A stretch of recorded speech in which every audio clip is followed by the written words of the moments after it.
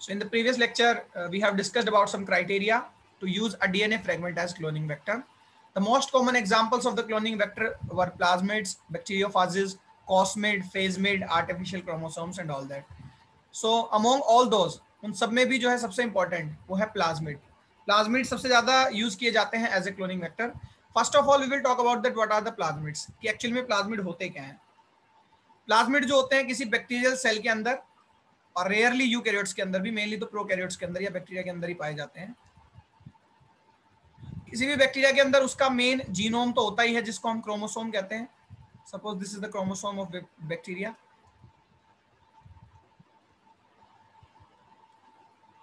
bacteria के genetic inheritance में यही डीएनए यही क्रोमोसोम्स हेल्प करेंगे। एक बैक्टीरिया दूसरे बैक्टीरिया के जैसा दिखता है, क्योंकि वही जीन्स आगे ट्रांसलोकेट कर दिए जाते हैं। लेकिन कुछ इसके अलावा बैक्टीरियल क्रोमोसोम के अलावा भी एक्स्ट्रा डीएनए प्रेजेंट होते हैं बैक्टीरिया के अंदर, और वो भी डबल स्टैंडर्ड डीएनए होते हैं। इस तरह से।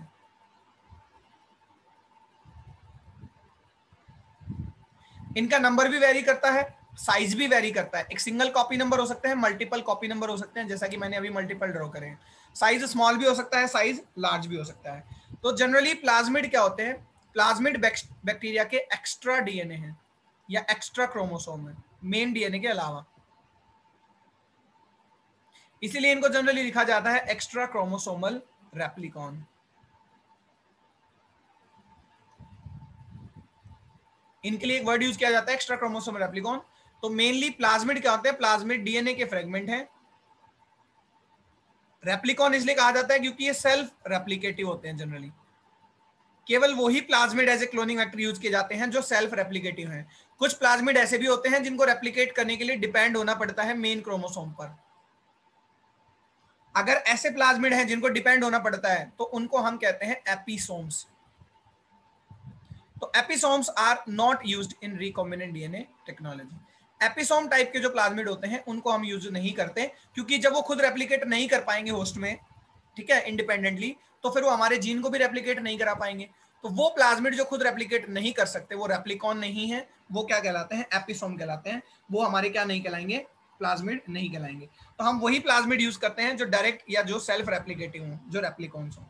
तो ये स्मॉल डीएनए फ्रेगमेंट होते हैं सर्कुलर होते हैं डबल स्ट्रेंडेड होते हैं, और इनको हम एक्स्ट्रा क्रोमोसोमल रेप्लिकॉन भी कहते हैं। ऑटोनोमसली रेप्लीकेटिंग होते हैं, और कहा मिलते हैं naturally naturally found in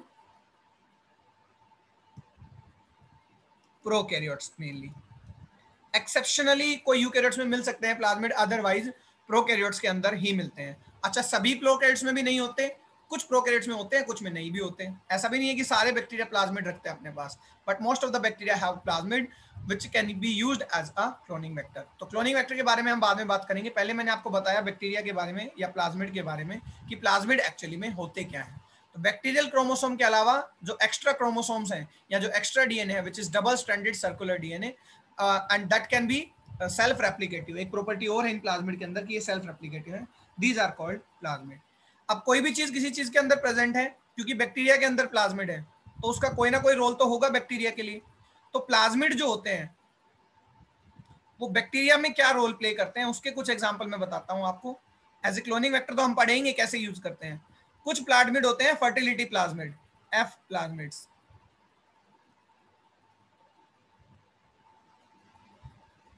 plasmid bacteria के लिए क्या करता है? फर्टिलिटी करा सकता है। जैसे कंजुगेशन ब्रिज जो बनता है कंजुगेशन के दौरान, उसमें एफ़ प्लाज्मिड या फर्टिलिटी प्लाज्मिड यूज़ किए जाते हैं। ठीक है? फर्टिलिटी प्लाज्मिड्स के बाद टीआरएनए जीन्स होते हैं जो कंजुगेशन कराते हैं। तो ये तो बात रही एक रोल की। उसके अलावा ये आर प्लाज्मिड हो सकते हैं। यानी कि ये रेजिस्टेंस प्लाज्मिड हो सकते हैं। अलग अलग नेचर के प्लाज्मिड है, बैक्टीरिया के लिए क्या कर रहे हैं? बैक्टीरिया को किसी सर्टेन एंटीबायोटिक से रेजिस्टेंट बना सकते हैं, या किसी और पैथोजेनिक एजेंट से वायरस वगैरह से, या यूवी रेज से, या किसी भी चीज़ से। रेजिस्टेंस अगर प्रोवाइड करें बैक्टीरिया को, मान लीजिए आर प्लाज्मिड है ये ये इस बैक्टीरिया को एंटीबायोटिक से रेजिस्टेंट बनाता है सपोज़ एम्पिसिलिन से।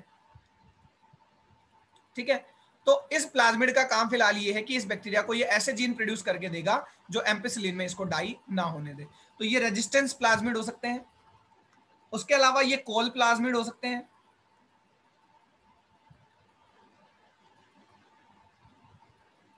कॉल प्लाज्मिड वो होते हैं जो एक केमिकल सीक्रेट करता है कॉलेसिन कॉलेसिन प्लाज्मिड जो कॉलेसिन केमिकल है, ये भी बैक्टीरिया को प्रोटेक्शन देता है। कुछ टाइप के पैथोजन से या कुछ वायरस से या कुछ प्रोटीन्स जो बैक्टीरिया को मार सकते थे, उनसे प्रोटेक्शन प्रोवाइड करता है कॉलेसिन तो कॉल प्लाज्मिड पर्टिकुलरली वो होते हैं, मान लीजिए कॉल प्लाज्मिड है, जो बैक्टीरिया को रेजिस्टेंस ही देता है, यानी एक तरह के रेजिस्टेंस प्लाज्मिड ही है ठीक है? और कुछ होते हैं वायरुलेंट प्लाज्मिड्स वायरुलेंट प्लाज्मिड वो हैं जो अगर बैक्टीरिया के अंदर प्रेजेंट है तो इस बैक्टीरिया को वायरुलेंट बनाते हैं. सपोज़ ये कोई वायरुलेंट प्लाज्मिड है विर प्लाज्मिड अब ये क्या करेगा जब ये बैक्टीरिया किसी और चीज़ में जाएगा? सपोज़ होस्ट है, ये ह्यूमन सेल है। इस पर अगर बैक्टीरिया की सेल अटैक करती है तो ये वायरुलेंट प्लाज्मिड कोई वायरुलेंस कॉज करेगा, यानी कोई डिज़ीज़ कॉज कर देगा ह्यूमन के अंदर। That can be leads to death और that can leads to several disorders तो वायरुलेंट प्लाज्मिड वायरुलेंट प्लाज्मिड का एक बहुत अच्छा एग्जांपल बताता हूँ प्लांट किंगडम के लिए। जो प्लांट होते हैं, कुछ प्लांट्स में एक बैक्टीरिया लग जाता है एग्रोबैक्टीरियम एक bacteria agrobacterium this is a singular word agrobacteria कहता तो प्लूरल होता। एग्रोबैक्टीरियम अगर प्लांट को लग जाता है या अटैक कर देता है प्लांट सेल पर तो एग्रोबैक्टीरियम बैक्टीरिया के अंदर एक स्पेशल प्लाज्मिड होता है, जिसको कहते हैं T I plasmid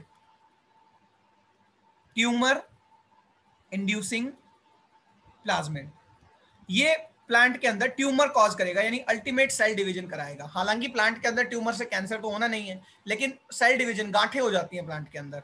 ठीक है एक्सेस सेल डिवीज़न तो ये वायरुलेंस कॉज कर रहा है टीआई प्लाज्मिड विर प्लाज्मिड का एग्जांपल है वायरुलेंट प्लाज्मिड का. तो over and all we have concluded that what are the plasmids plasmid होते क्या हैं? कहाँ पर होते हैं? क्या वायरस के पास प्लाज्मिड होंगे? नहीं. क्या एनिमल्स के पास प्लाज्मिड होंगे? नहीं. क्या ह्यूमन के पास प्लाज्मिड होंगे? नो क्या प्लांट के पास प्लाज्मिड होंगे? No plasmids are only found in the prokaryotics और the bacteria. and necessarily not all the bacteria have plasmid but most of the bacteria have plasmids and what are the functions of the plasmid in a bacteria it could be a fertility resistance colicin or the virulent plasmid so it was the concept of plasmid now we will discuss that how the plasmids can be used as a cloning vector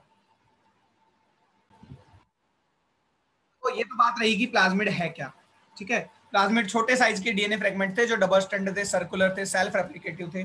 तो एक बात तो general है कि scientist ने जब सोचा कि इसको as a cloning vector use किया जा सकता है, इसका मतलब ये सेटिस्फाई करते थे सभी क्राइटेरियाज को, जो एक क्लोनिंग वेक्टर में होने चाहिए। या हम ये भी कह सकते हैं कि क्योंकि ये सेटिस्फाई करते थे, इसीलिए इनको क्लोनिंग वेक्टर की तरह यूज़ किया जा सका। तो प्लाज्मिड तो हज़ारों सालों से या करोड़ों सालों से जब से प्रोकैरियोटिक सेल ओरिजिनेट हुई है, लगभग 400 करोड़ साल पहले प्रोकैरियोट सेल्स आए थे तब से ही प्लाज्मिड पाए जाते हैं बट हम नहीं थे हमें नहीं पता था कि क्लोनिंग वेक्टर की तरह भी यूज़ किए जा सकते हैं। तो जैसे ही हमें क्लोनिंग वेक्टर की नॉलेज हुई हमें पता चला कि प्लाज्मिड्स को भी यूज़ किया जा सकता है। तो कुछ प्रॉपर्टीज़ हैं प्लाज्मिड की जो इसको इंश्योर करती हैं to be use as a cloning vector तो क्विकली मैं बता रहा हूँ क्योंकि हमने क्राइटेरिया ऑलरेडी पढ़े हुए ये सेल्फ रेप्लीकेटिव है। ठीक है? खुद रेप्लीकेटिव कर सकते हैं। एपिसोम्स नहीं करते उनके बारे में बता दिया अदरवाइज़ ये सेल्फ रेप्लीकेटिव है। इसलिए टिक है कि, कि ये क्लोनिंग वेक्टर की तरह यूज़ किए जाएँगे। इनका साइज़ स्मॉल है। एक वेक्टर को साइज़ स्मॉल होना चाहिए। तो ये जनरली एक के से, हालाँकि 300 तक के तक वेरी करेंगे। लेकिन प्रिफरेबली एक से दस के के, एक के से दस के तक के यूज़ किए जाते हैं as a cloning vector in bacteria जैसे टीआई प्लाज्मिड बताया, वो भी वेक्टर है प्लांट्स के लिए, लेकिन उसका साइज़ तो 200 के है, पर वो प्लांट के लिए है। बैक्टीरिया में साइज़ जनरली एक से दस के ही रहता है। साइज़ क्यों छोटा हो, इसका भी कंसेप्ट है कि मान लीजिए ये इकोलाई बैक्टीरियम है ठीक है? इसके अंदर मैक्सिमम फॉर एग्जांपल 50 केबी का कोई फ्रेगमेंट आ सकता है, ये। बस 50 केबी के फ्रेगमेंट से ज़्यादा दूसरी कॉपी कोई नहीं आ सकती। अब क्या होगा, अगर बैक्टीरिया का, अगर वेक्टर का साइज़ है 40 केबी तो आप मैक्सिमम 10 केबी का जीन इंसर्ट कर पाएँगे फॉरेन जीन क्योंकि इस बैक्टीरिया की तो लिमिट है ये अपने अंदर 50 केबी जीनोम ला सकता है। इससे आगे तो फिर इसकी कॉपी होगी नहीं। ठीक है? थ्रेशोल्ड लिमिट है। अगर आपका वेक्टर है छोटा सा, आपका वेक्टर है वन केबी का तो आप 49 केबी तक का जीन भी डाल सकते हैं। तो जितना वेक्टर छोटा होगा ना, उतना ही फ़ायदा है हमें, उतने बड़े साइज़ का जीन हम इंसर्ट कर पाएँगे। तो वेक्टर को हमेशा स्मॉल होना चाहिए, ताकि उसके अंदर जब हम जीन डालें तो there will be no problem and that can be easily clone ये तो एक मैक्सिमम लिमिट मैंने 50 बता दी, या 500 या जो भी लिमिट माने। मान लीजिए ये वेक्टर है छोटा सा, जितना छोटा होगा उतनी ज़्यादा कॉपी बनाएगा। जितना लार्ज होगा, उतनी ही कम कॉपी बना पाएगा। ये एक वेक्टर ये है, इसमें आरडीएम है तो ये मैक्सिमम दो ही कॉपी बना पाएगा इस बैक्टीरिया के अंदर। तो जीन क्लोनिंग में हम तो ये चाहते हैं कि मैक्सिमम कॉपीज बने, इसीलिए vector should be small in size कुछ और क्राइटेरिया होते थे, जैसे कि रेस्ट्रिक्शन साइट्स का होना। रेस्ट्रिक्शन साइट्स ऑलरेडी पाए जाते हैं क्लोनिंग वेक्टर में क्लोनिंग वेक्टर यानी प्लाज्मिड में। उसके अलावा आप डिज़ाइन भी कर सकते हैं, क्योंकि ज़्यादातर प्लाज्मिड्स को डिज़ाइन किया जाता है। तो खुद से जो है रेस्ट्रिक्शन साइट्स को ऐड भी कर दिया जाता है। रेस्ट्रिक्शन साइट जिनको हम रिकॉग्नाइजेशन साइट या मल्टीपल क्लोनिंग साइट्स भी कहते हैं एमसीएस सबको ज्वाइंटली एमसीएस या पॉलीलिंकर कहते हैं। कभी कभी क्या होता है रेस्ट्रिक्शन साइट एक ही जगह पर बहुत सारी हो जाती हैं कलेक्टिवली तो लगभग ये 30 केबी का टुकड़ा जिसमें बहुत सारे रेस्ट्रिक्शन साइट है, इसको एमसीएस या पॉलीलिंकर कहते हैं। या कलेक्टिवली सारे रेस्ट्रिक्शन साइट्स को भी हम मल्टीपल क्लोनिंग साइट्स कहते हैं। तो ये भी प्रेजेंट है प्लाज्मिड पर। क्लोनिंग वेक्टर के अंदर मार्कर जीन होने चाहिए तो प्लाज्मिड पर मार्कर जीन भी डिज़ाइन किए जा सकते हैं इजीली मार्कर जीन क्या होते हैं, मैंने कल भी बताया था प्रीवियस वीडियोस में आप देख सकते हैं, और सेपरेटली भी हम इसको आगे पढ़ेंगे। ये वो फ्लैग जीन है या रिपोर्टर जीन से जिनसे हम डिटेक्ट कर सके कौन सा ट्रांसफॉर्म्ड होस्ट है, कौन सा ट्रांसफॉर्म्ड होस्ट नहीं है। तो जैसे एंटीबायोटिक रेजिस्टेंट जीन है, जैसे एम्पिसिलिन रेजिस्टेंट जीन या टेट्रासाइक्लिन रेजिस्टेंट जीन तो ये इजिली डिज़ाइन किए जा सकते हैं इस पर प्लाज्मिड पर। या ऑलरेडी पाए जाते हैं। तो इस कारण भी जो है प्लाज्मिड को एज ए क्लोनिंग वेक्टर हम एक्सेप्ट करते हैं या अच्छे हैं। ब्रॉड रेंज होती है और स्पेसिफिक रेंज भी होती है। दोनों अपने अपने इंपॉर्टेंस रखती हैं। स्पेसिफिक रेंज का मतलब है कि बिल्कुल होस्ट स्पेसिफिक प्लाज्मिड हो। ज़्यादातर प्लाज्मिड होस्ट स्पेसिफिक ही होते हैं। जैसे एक एग्जांपल बताता हूँ, एक प्लाज्मिड होता है पीबीआर 322 वो केवल इकोलाई पे काम करता है। ठीक है? कुछ प्लाज्मिड ऐसे हैं जो एक से ज़्यादा होस्ट पर काम कर सकते हैं तो उनको हम ब्रॉड रेंज प्लाज्मिड्स कहते हैं। तो जैसे एनसीपी एक ब्रॉड रेंज प्लाज्मिड है आई एन सी पी ये प्लाज्मिड का नाम है, ये भी प्लाज्मिड का नाम है, ये मल्टी रेंज है। तो प्लाज्मिड में ये भी क्वालिटी है, वो चाहे तो स्पेसिफिक भी हो सकते हैं और वो चाहे तो ब्रॉड भी हो सकते हैं। कॉपी नंबर हाई होता है जनरली साइज़ स्मॉल होता है। प्लाज्मिड की एक ये भी अच्छी खासियत है कि बहुत हाई नंबर में बैक्टीरिया में पाए जाते हैं। जितने ज़्यादा प्लाज्मिड, उतने ही ज़्यादा हमारे पास क्या? क्लोनिंग वेक्टर क्योंकि हमारे लिए तो प्लाज्मिड क्या है? क्लोनिंग वेक्टर है। इस तरह के प्लाज्मिड जो मल्टीपल कॉपीज में होते हैं, वो कहलाते हैं relaxed plasmids relaxed plasmids number multiple या नंबर हाई कुछ प्लाज्मिड ऐसे भी होते हैं। अच्छा इनका साइज़ क्या होगा? स्मॉल होगा भाई। अगर नंबर हाई है तो साइज़ स्मॉल होगा। कुछ प्लाज्मिड ऐसे भी होते हैं जिनका नंबर बहुत कम होता है और साइज़ ज़्यादा होता है। इस तरह के प्लाज्मिड्स को स्ट्रिंजेंट प्लाज्मिड्स कहते हैं।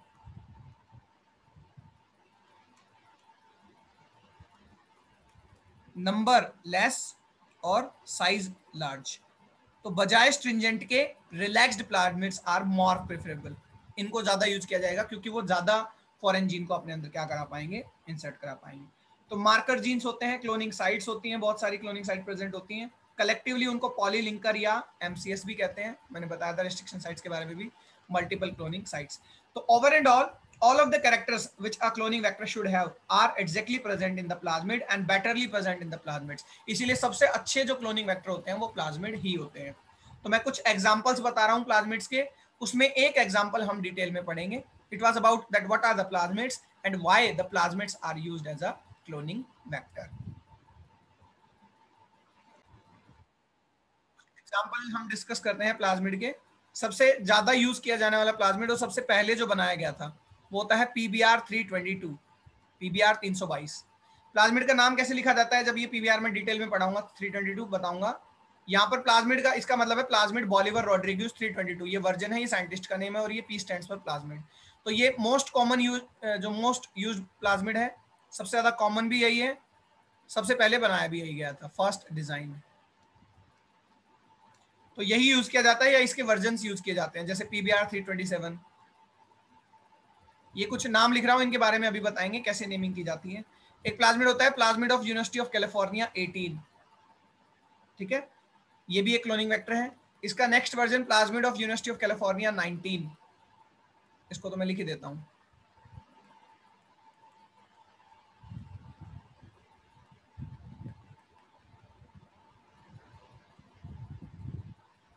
आगे वर्जन है तो ये सेम रहेगा। पीबीआर 322 भी सेम नेम रहेगा। प्लाज्मिड बॉलीवर रॉड्रिग्यूज 322 एक कॉल प्लाज्मिड होता है colicin plasmid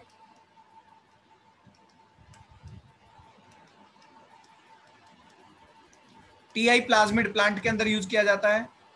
As a cloning vector tumour inducing plasmid और भी प्लाज्मिड होते हैं जिनको as a cloning vector use नहीं किया जाता बट उनसे बनाए जाते हैं। जैसे आर वन है आर सिक्स है पी एम बी वन है।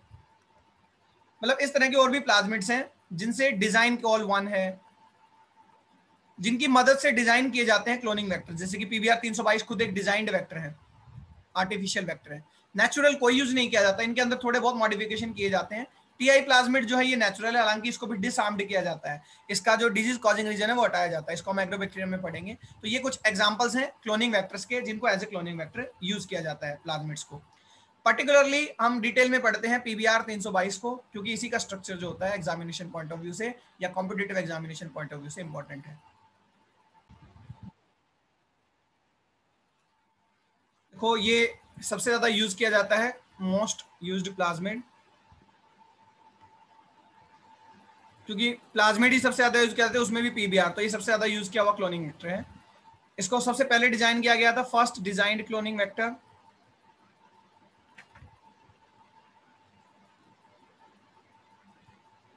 इसको बनाया गया था दो साइंटिस्ट की लैब में, जिनका नाम था Bolivar and Rodriguez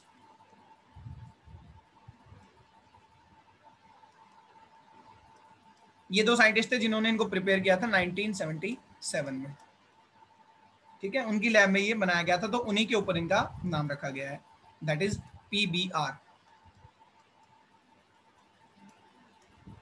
P stands for plasmid, B stands for Bolivar, R stands for Rodriguez. They both are the scientists, and in their laboratory they synthesize this first uh, uh, artificial plasmid, and 322 is the virgin.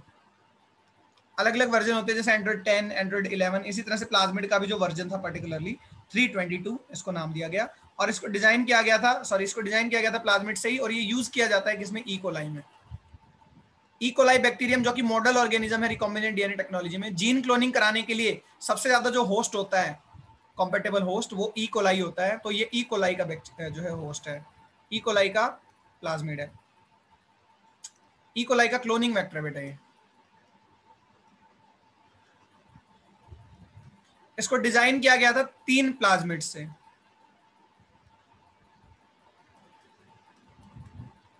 Col E one plasmid जो था main part था, उसके अलावा उन तीनों के नाम जो होते हैं, उनके नाम है P M B one collectively कह दिया जाता है कि कॉल ई वन से इसको सिंथेसाइज किया गया था बट इन रियली में तीन प्लाज्मिड थे। आर वन आर सिक्स और P M B one R one से आर सिक्स से और पी एम बी वन से। तीन जो होते हैं प्लाज्मिड उनसे इसको सिंथेसाइज किया गया था। अलग अलग चीज़ें ली गई थी तीनों प्लाज्मिड से। प्लेटफॉर्म था कॉल ईवन का। ठीक है? कॉल ईवन एक प्लाज्मिड है, उसका प्लेटफॉर्म था। उस पर आर वन से लाया गया ampicillin resistant gene ampicillin resistant gene एक मार्कर जीन है। मैं आपको बता दूँ, ये बताया भी हुआ है। आर सिक्स से लाया गया टेट्रासाइक्लिन रेजिस्टेंट जीन ये भी एक मार्कर जीन है। जो पता लगा सकेगा कि क्लोनिंग वेक्टर मॉडिफाई जो होस्ट है, वो ट्रांसफॉर्म हो गया, नहीं हो गया। पीएमबी वन से इसका ओरिजिन ऑफ़ रेप्लीकेशन लाया गया। क्योंकि एक क्लोनिंग वेक्टर को सेल्फ रेप्लिकेटिव होना बहुत ज़रूरी है, और सेल्फ रेप्लिकेटिव होने के लिए उसके ओरिजिन ऑफ़ रेप्लिकेशन साइट होना ज़रूरी है।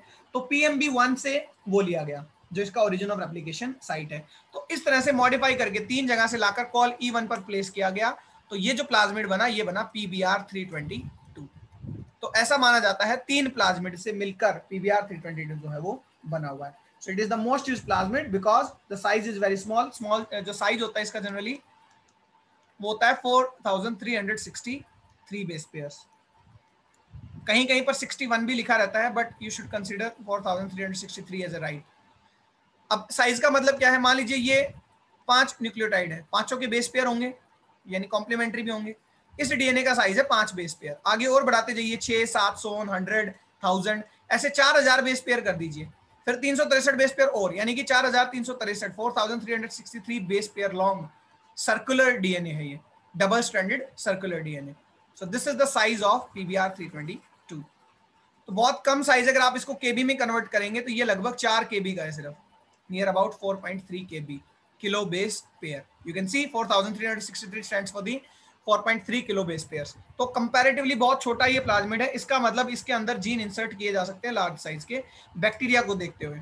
जनरली 10 टू 20 या इससे भी ज़्यादा के बी तक के जीन इसके अंदर इजीली इंसर्ट कराए जा सकते हैं। और इतना साइज़ ऑफ़ जीन को ई कोलाई इजीली टॉलरेट कर सकता है या इजीली रेप्लिकेट या क्लोन करा सकता है।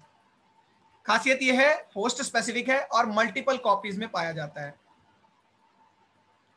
इसलिए जितना ज़्यादा होगा उतना अच्छा है और उतना ही बेस्ट है जीन क्लोनिंग के लिए। So now I am going to draw the structure of the PBR 322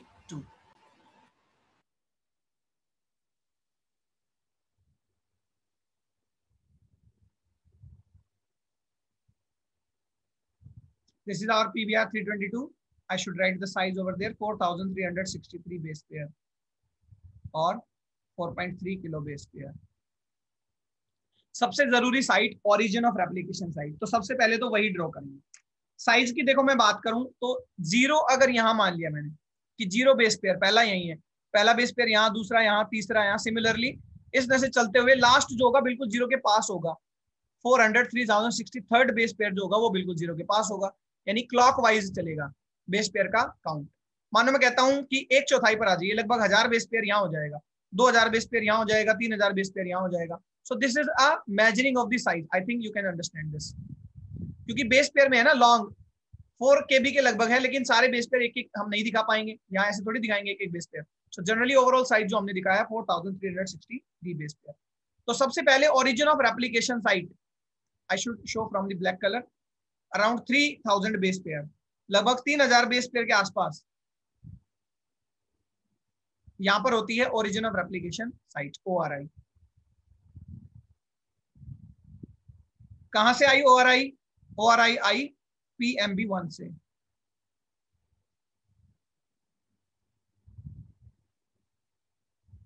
PMB one यहाँ पर एक एज ए जीन काम कर रहा है सिर्फ़। जिसका काम क्या है कि वो पीबीआर 322 को जब इसके अंदर जीन डाल दिया जाएगा ना तो आगे जाकर रेप्लीकेट कराएगा। अभी ये एज ए वेक्टर हम पढ़ रहे हैं। वेक्टर में फॉरेन जीन डलेगा आरडीएम बनेगा और जाकर होस्ट में रेप्लीकेट होगा। उसके अलावा इस पर बहुत सारी रेस्ट्रिक्शन साइट होती हैं। पहले मार्कर जीन में ड्रॉ कर देता हूँ। एम्पिसिलिन रेजिस्टेंट जीन होता है लगभग तीन हज़ार से चार हज़ार के बीच में, यानी इधर, इस पॉइंट पर। ड्रॉ करते हैं। I should take a different colour like this ये एक जीन है। देखिए, बहुत बड़ा जीन है छोटा सा जीन नहीं है ये। इसके अंदर लगभग आप देख सकते हैं 300 से 400 बेस पेयर है। जबकि रेस्ट्रिक्शन साइड तो बहुत छोटे डीएनए के फ्रेगमेंट होते हैं। तो ये है एम्पिसिलिन रेजिस्टेंट जीन इस तरह से लिखा जाता है या पूरा लिख सकते हैं एम्पिसिलिन रेजिस्टेंट जीन बिल्कुल भी कंफ्यूज नहीं होना आप सोचिए क्या ये बार बार ड्रॉ किए जा रहे हैं। एक डीएनए का टुकड़ा है, उसको डिज़ाइन कर रहे हैं। सब कुछ डीएनए ओरिजिनल एप्लीकेशन भी एक डीएनए है। एम्पिसिलिन रेजिस्टेंट जीन जीन में तो डीएनए होते हैं। फॉरेन जीन जो आएगा, वो भी डीएनए रहेगा। डीएनए के अंदर डीएनए इंसर्ट कर रहे हैं डीएनए ही हम डिज़ाइन कर रहे हैं। ऐसे ही एक और एंटीबायोटिक रेजिस्टेंट रीजन है, जो जनरली होता है लगभग 200 बेस पेयर से आगे। तो यहाँ बिल्कुल पास।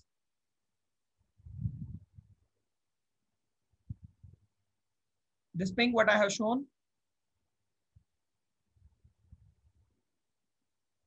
Is the tetracycline resistant region. ये भी मार्कर जीन है टेट्रासाइक्लिन रेजिस्टेंट है. इसके अलावा आपको अगर कट करना है वेक्टर को और उसमें फॉरेन जीन डालना है तो बहुत सारी रेस्ट्रिक्शन साइट्स चाहिए। तो वो सारी रेस्ट्रिक्शन साइट भी हम ड्रॉ करेंगे। एग्जैक्ट बेस पेयर के अकॉर्डिंग उनकी लोकेशन बता रहा हूँ। ये अगर ज़ीरो है तो बिल्कुल 29 बेस पेयर हो, पर होती है हिंड थ्री हिंड थ्री एक रेस्ट्रिक्शन साइट है जो उनतीसवें बेस पेयर से स्टार्ट होती है। अब खुद हिंड थ्री लगभग आपको पता है, छह ही बेस पेयर का एक छोटा सा सीक्वेंस है। देखो मार्कर जीन या एम्पिसिन बड़े हैं बेस पेयर ज़्यादा है उनमें। ओआरआई में भी बेस पेयर ज़्यादा है। लेकिन रेस्ट्रिक्शन साइट एक्जैक्टली छोटी सी होती है, लगभग चार से आठ बेस पेयर की बस। तो हिंड थ्री होती है उनतीसवें बेस पेयर पर। इको आर फाइव होती है one eighty five base pair पर।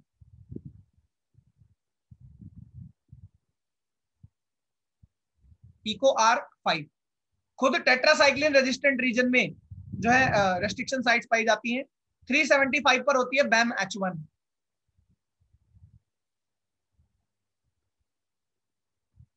Bam H one एक रेस्ट्रिक्शन साइट है, जिस पर बैम एच वन एंजाइम काम करेगा रेस्ट्रिक्शन एंड अच्छा क्यों ज़रूरत है रेस्ट्रिक्शन साइट की? अभी ये भी बताऊँगा मैं कट लगाने के लिए, और अलग अलग लिमिट में 657 पर होती है cell H one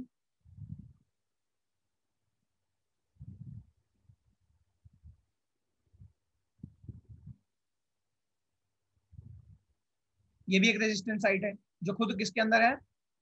resistant reason के अंदर टेट्रासाइक्लिन रेजिस्टेंट रीजन के अंदर। इसी तरह से लगभग बाईस सौ पिचानवे बेस पेयर पर, लगभग यहाँ, एक होती है एनडीई वन ये भी रेस्ट्रिक्शन साइट है। ओ में कोई रेस्ट्रिक्शन साइट नहीं होगी, क्योंकि इसको नहीं काटा जाता। ओआरआई सबसे ज़रूरी है, ताकि वो जाकर एप्लीकेट कर सके। एक होती है three thousand six hundred seven base pair पर पी एस टी वन लगभग इसमें। T one I think I should write it clear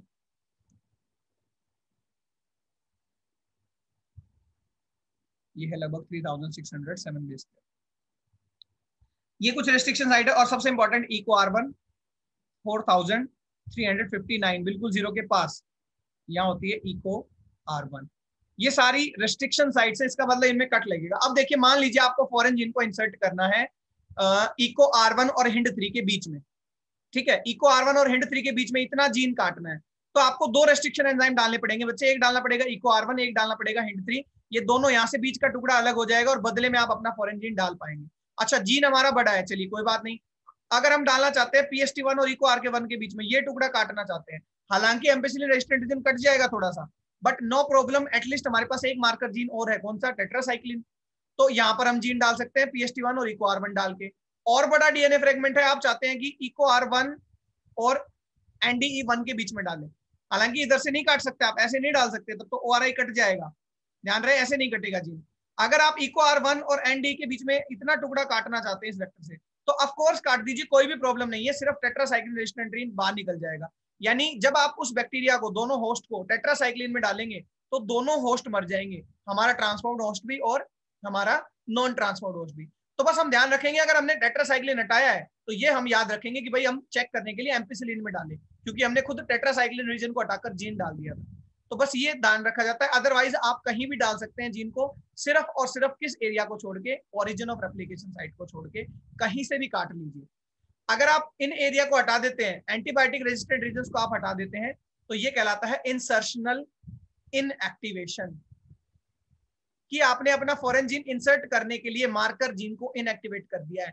अगर आपने ऐसा टुकड़ा काट दिया जिसमें दोनों मार्कर जीन बाहर निकल गए तो फिर आप अपने आप एक तरह से आपने मार्कर जीन्स को यूज़ ही नहीं किया। फिर आप नहीं बता पाएँगे एंटीबायोटिक यूज़ करके कि आपका ट्रांसफॉर्म्ड होस्ट कौन सा है।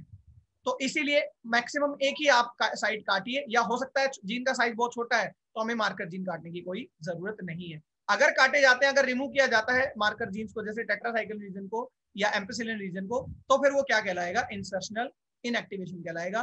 तो ये स्ट्रक्चर है किसका? पीबीआर 322 का। Having various restriction sites to cut the DNA at the specific places सारी की सारी रेस्ट्रिक्शन साइट पैलेंड्रोमिक सीक्वेंस है। छोटे छोटे सीक्वेंस है, चार से लेकर आठ बेस पेयर के। और ओरिजिन ऑफ़ रेप्लीकेशन साइट है। So finally, this was all about the plasmids and plasmids as a cloning vector. एक प्लाज्मिड आपका एग्जांपल पढ़ना है पीवीआर 322 उसकी स्ट्रक्चर याद रखें, उसका साइज़ याद रखें। This is not necessary to remember the restriction sites base pair ज़रूरी नहीं कि आप बेस पेयर याद रखें, आप एटलीस्ट तीन से चार रिस्ट्रिक्शन साइट याद रखें, या मैक्सिमम दो तीन याद रखें। जो बैम एच वन है हिंड थ्री है इको आर वन है, ये तीनों तो बहुत कॉमन है इनके मैंने सीक्वेंस भी ड्रॉ किए हुए हैं। तो एटलीस्ट तीन साइट ज़रूर याद रखें। हमें बस ये पता होना चाहिए कि रेस्ट्रिक्शन साइट का मोटो क्या है। To insert the foreign gene अब इसके अंदर कहीं भी हम कट लगाकर, मान लीजिए ये मेरा पूरा वेक्टर है, अब एक एक चीज़ नहीं दिखाऊँगा।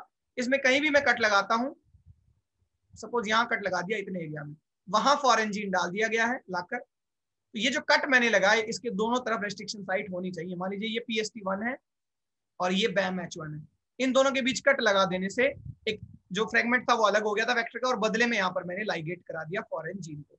लाइगेज एंजाइम लाइगेट करा देंगे जो कट कर जीन आया उसके भी दोनों तरफ़ रेस्ट्रिक्शन साइट होने चाहिए। Then there will be compatibility and it will become a RDM recombinant DNA molecule अब आरडीएम को जब हम होस्ट में डालेंगे तो हम इजीली इसकी क्लोनिंग हो पाएगी क्योंकि इसके पास ओआरआई है, ये अपनी कॉपी बनाएगा। जब ये अपनी कॉपी बनाएगा तो हमारा जीन भी रेप्लीकेट होगा। This is the concept of gene cloning आपको कैसे पता चले किस होस्ट के अंदर हमारा आरडीएम है? तो हमने इसके अंदर मार्कर जीन भी डिज़ाइन कर रखे हैं। अगर जीन इतने एरिया में डाला गया है मार्कर जीन नहीं हटाए गए तो कौन से भी एंटीबायोटिक में आप डालिए जो नॉन कॉम्पिटेबल होस्ट होंगे नॉन ट्रांसपोर्ट वो डाई हो जाएँगे उस एंटीबायोटिक में डालने पर। बट जो कॉम्पिटेबल होगा, उसमें एम्पिसिलिन और टेट्रासाइक्लिन के लिए रेजिस्टेंस बनाने के लिए प्लाज्मिड है या वेक्टर है तो वो सर्वाइव करेगा। So this is the concept of the marker genes it was all about the plasmids as a cloning vector in the next lecture we will discuss about the other cloning vectors like bacteriophages plasmid plasmid and artificial chromosomes